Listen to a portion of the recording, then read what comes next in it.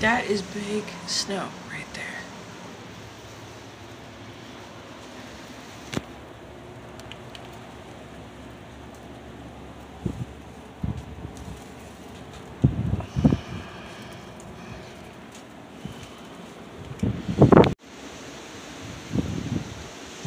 It's actually snowing.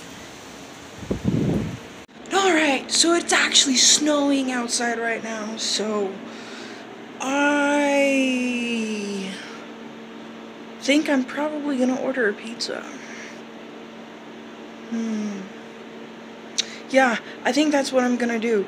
I'm actually sitting here and I am currently playing a game, and I know you can't really see it right now, but I am playing uh, Assassin's Creed Odyssey. I'm in the middle of being hunted by multiple um, bounty hunters. Look at that.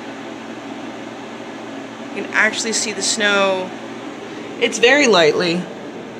You can hardly, I mean, if we're actually getting some snow and you guys saw in that spider web on how big it was, um, then up north is, the roads are probably closed, I'm guessing. I know up in Raton, uh, I-25 heading to Colorado, the roads themselves were closed, but I don't know about anything in this particular area. Oh my god. My neck all red? What is that? Holy crap. Huh. My neck's all red. Alright, so since it's going to be a snow day, I'm probably going to try to do a live game run for you guys sometime.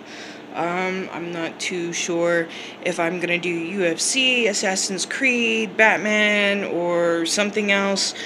Um, I guess we'll see. So,